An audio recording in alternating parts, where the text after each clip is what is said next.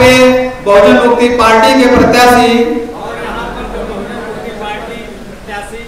माननीय हरकेश गौतम जी।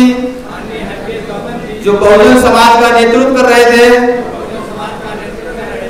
बगैर कुछ गलती के उनका नामांकन पत्र बर्खास्त किया गया है, निरस्त किया गया है। इसके विरोध में हम लोग पूरे प्रतापगढ़ क्षेत्र में और नोटा पे बटन दबाएँगे। हम लोग ज़्यादा ज़्यादा नोटा पे बटन दबाएँगे और सब लोग शपथ लेते हैं। और सभी साथियों को बहुत बहुत धन्यवाद।